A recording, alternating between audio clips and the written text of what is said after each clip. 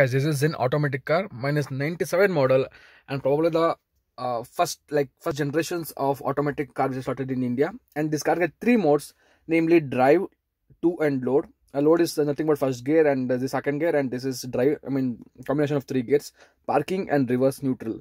And guys, this is my Zen automatic, and please do subscribe for more upcoming videos.